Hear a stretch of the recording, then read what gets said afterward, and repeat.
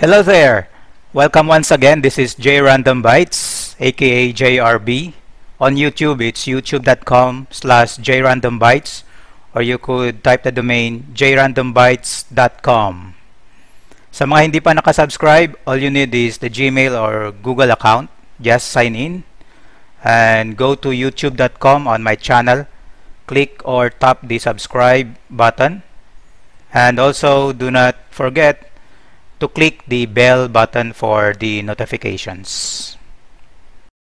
Today's uh, lesson or in this episode, we will have the MikroTik router's quality of service or QoS or bandwidth management, single ISP. We will be dealing with the firewall Mangle Q3. So, dapat naka-prepare na yung router nyo. Meron tayong previous video para sa pag-prepare ng router ninyo. Ito yung link. Just visit the link on YouTube. Then, check natin yung router OS firmware version tsaka Winbox version ko na gagamitin. So, system, packages, yung router OS version ko ay 6.45.8. Ito yung latest na long-term channel as of today. Yung firmware version ko ay 6.45.8. Yung Winbox version ko ay 3.23, the latest as of today. Next natin ay settings natin. Yung ISP1 will be sa Ether 1. Yung LAN natin ay nasa Ether 2. So, make sure. Then, uh, magsa-set up tayo ng Mangle rules gamit yung uh, mark connection, then mark packet, connection bytes. So start tayo, punta tayo sa IP, firewall, Mangle, click plus, general tab. So chain is forward. Yung ISP1 natin ay sa Ether 1, so out interface is Ether 1. Then gagamit tayo ng connection bytes. Unahin natin yung large files. So for me, magsisimula yung large files sa 5M hanggang sa pinakamalaki. So 0 click action. Action will be mark connection. Then sa new connection mark, large 1 cm for connection mark. Naka-check yung pass-through. Then copy the new connection mark. Lalagay lang natin sa, paste lang natin sa comment. Then okay. So nandito na yung connection mark para sa large files natin. Then, next, pag may connection mark na, gagawa tayo ng packet mark. So, click plus, general, chain forward, connection mark, large, action mark packet, then, sa new packet mark, magta-type tayo ng large 1 PM for pocket mark, uncheck na natin yung pass-through. So, para hindi na siya ipaprocess ng next rule. Comment, paste lang natin, click OK. So, meron na tayong pares ng mark connection para sa large file, tsaka large mark packet. Next, gagawa naman tayo ng connection mark para sa medium files. So, click plus, general, chain forward out interface still ether 1 then connection bytes so para sa akin yung medium ko ay from 256 k up to 5m so depende po yan sa inyo yung pag-set ng connection bytes kung ano yung magiging small, medium, tsaka large files ninyo action, mark connection So, new connection mark, ita-type natin, mid, medium 1, dash cm. Check yung pass-through. Comment. Okay. Meron na tayong connection mark para sa medium files. Then, gagawa tayo ulit ng packet mark, click plus, general tab, forward, connection mark, medium, action, mark, packet. New packet mark, magta-type ulit tayo ng medium, uncheck yung pass-through, copy, paste sa comment. Okay. So, meron na ulit tayo pares ng medium mark connection and medium mark packet. Next, yung gagawin naman natin ay click plus para sa small, chain forward, out interface, ether 1,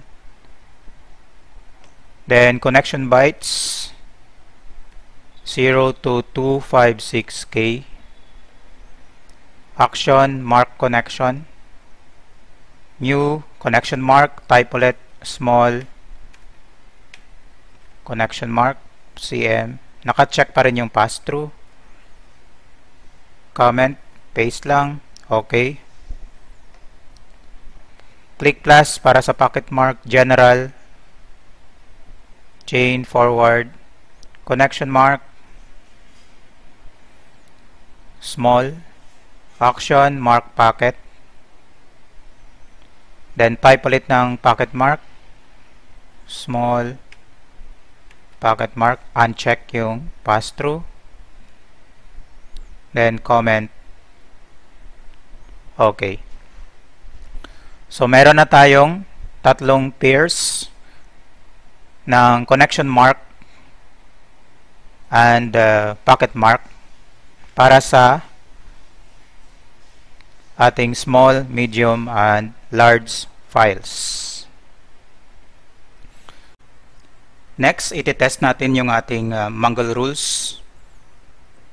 Pero bago yan, punta muna tayo sa firewall connections. Control A para ma-select lahat, then minus para ma-remove.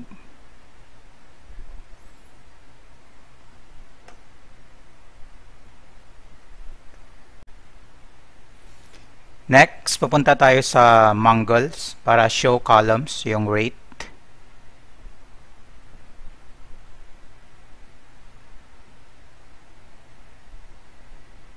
Show column. Then hanapin yung rate.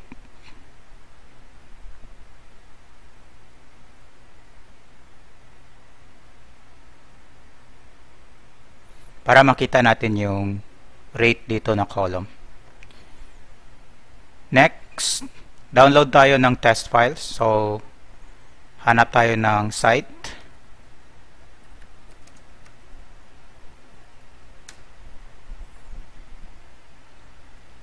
Try natin mag-download ng file like 10 MB. So, habang nagda-download, tingnan natin yung Mongol kung nagpa-function. So, nawala na yung sa small, napunta na siya sa medium, then napunta na siya sa large. 10 MB. So, okay yung mangle natin. From small, 0 to 256K. Medium, 256 to 5 MB. Then, paglagpas ng 5 MB, na-classify na siya as large. Sa mga hindi naka-gets, pwede nyo i-rewind yung uh, video para correct yung Mongol rules nyo. Kasi pag hindi tama yung Mongol rules nyo, hindi rin siya mag-effect sa next topic natin about Q3. Bago tayo mag-proceed sa Q3, sa mga hindi pa nakasubscribe, subscribe lang sa aking YouTube channel sa youtube.com slash jrandombytes. Then punta na tayo sa Q3. Gagawa tayo ng uh, configuration para sa download natin. Go to Qs, Q3, click plus. Then, pangalanan natin ito na ISP1 download. Parent global. Qtype PCQ download default. Yung limit at natin, tsaka max limit, depende po yan sa inyong bandwidth. So, check natin kung ano yung bandwidth ko. So, pwedeng mag-try ako sa speed test. or fast.com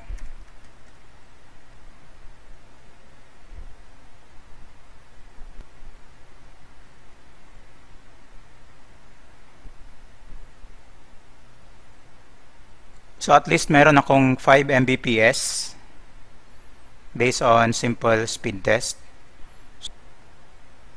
So, pwede kong i-set dito sa max limit yung 5 M. Limit at, pwede kong liitan lang at uh, 256K. Click OK. Next, gagawa tayo ng rule para sa specific packet mark. So, unahan natin yung small. Parent, ISP1 download. Packet mark, small. Q-type, PCQ download default. Priority,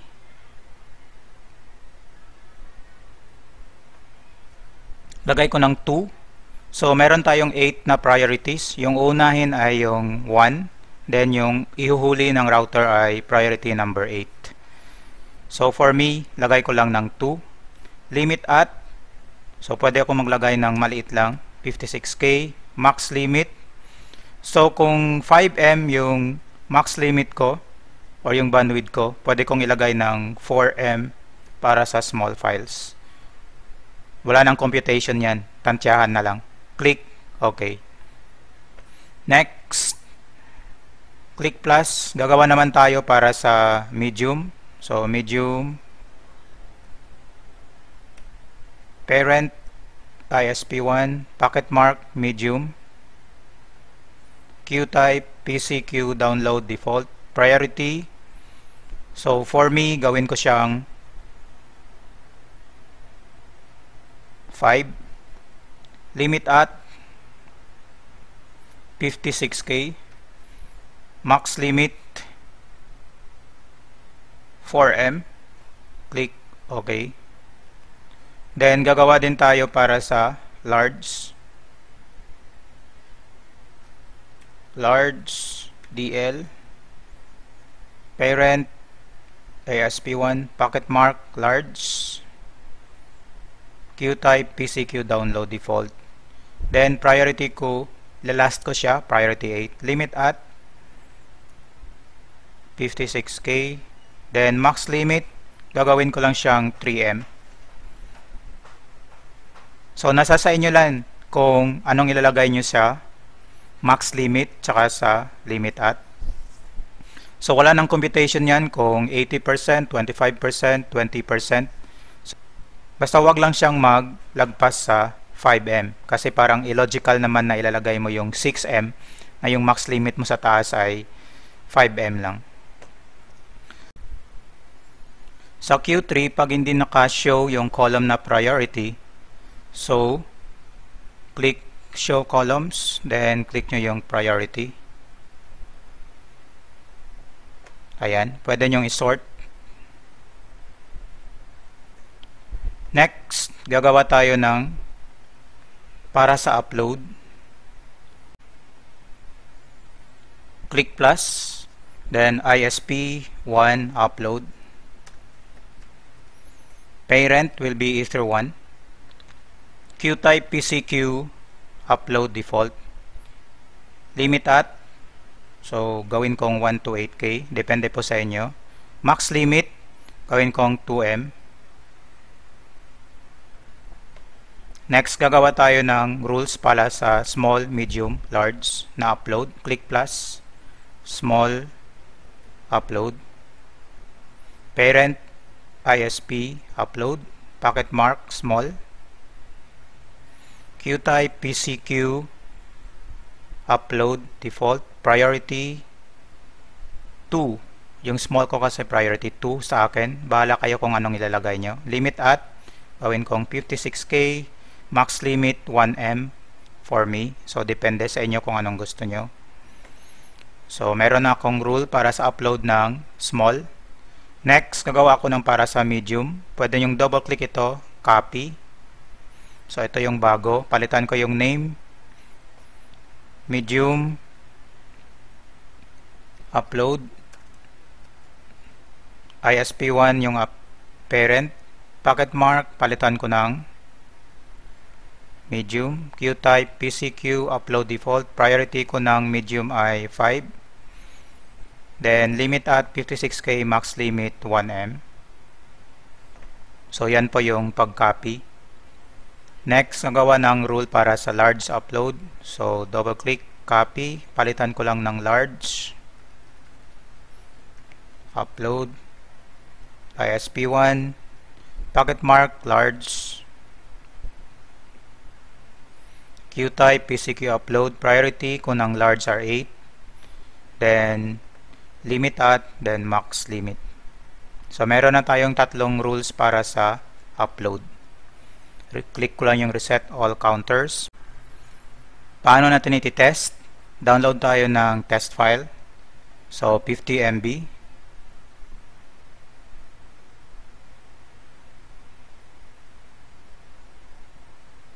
So sa umpisa nahuhuli siya ng small na rule. Next, medium. Nagre-red siya pag nahihit na niya yung limit. Then sa huli, na-detect siya as large. Then nalilimit siya based sa max limit. Anong ibig sabihin ng green, yellow, at saka red? So 0 to 50% green, 51 to 75% yellow, then 76 to 100% red. So ayan po yung Q3 natin sa MikroTik. Meron siyang para sa download, meron din siyang para sa upload. Based pa lang yan sa connection bytes. Wala pa tayong ports, wala pa tayong based on layer 7. So, how to disable or enable and how to remove or delete the rule. Pag disable, so click lang yung X. Pag enable, yung check.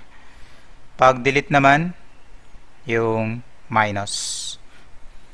Be careful sa pag-remove kasi wala siyang confirmation kung do you really want to remove the rule. Pero meron siyang undo. Click mo lang to para may babalik. Buti na lang na ibalik siya Di tulad ng iba na hindi na pwedeng ibalik. The same sa IP firewall mangle rule. Kung gustong i-disable X, enable check, remove minus. Buti na lang pwedeng ibalik. Okay, that's it for this episode. Thank you so much for your time. Sa mga hindi pa nakasubscribe, subscribe lang sa youtube.com slash jrandombytes. Watch, subscribe, like, and share. Patuloy lang sa pagsuporta. Then, for your questions, pwede kayo mag-join sa Facebook group, facebook.com slash group slash microticlearning. Yung grupo natin ay Microtic Learning Group Philippines. Thank you so much. See you again sa next video.